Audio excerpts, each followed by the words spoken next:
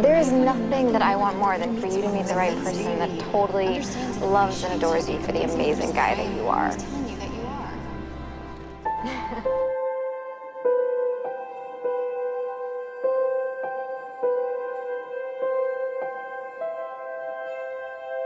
You ever think that you you maybe might like me. like you? What? No. I've seen how close you two are. and I are just best friends. you and Barry are like BFFs, right? The best of BFFs. Thick as thieves. I loved that mug. Ow! What are you doing? Aw, I love that mug. Oh, this is one of my favorite places in the This is world. one of my favorite places in the world. Where's your shadow? What Shadow. Barry. From my experience, good friends are hard to find.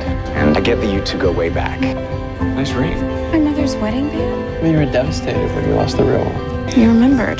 Barry got it for me. Friends don't give friends wedding bands. Barry's been acting different around me lately. Do you honestly think that I don't know when you're happy or sad or depressed or lost? Is there anything that you know about that I should know about? God, I just want to tell you I have watched you be in love with Iris since you were old enough to know what love is.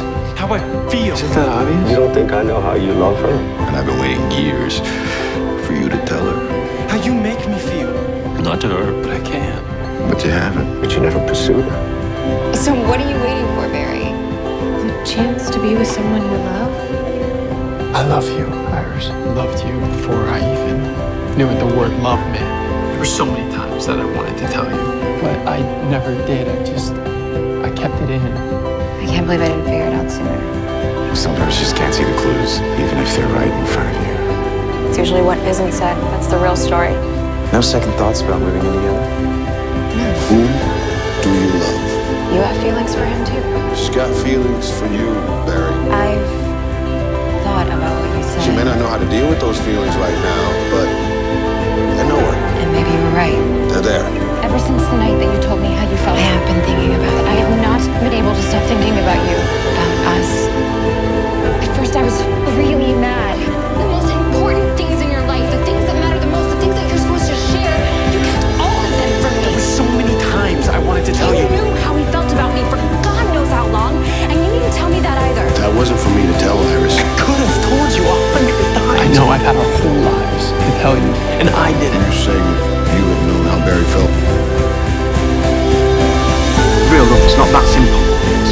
It means arguing making up, laughing, crying and struggling, and sometimes it doesn't seem worth it.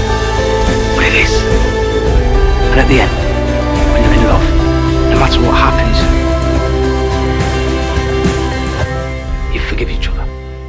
When the universe wants to make something happen, whether it be giving a young man lightning speed or putting two people together, it has a way of figuring those things out.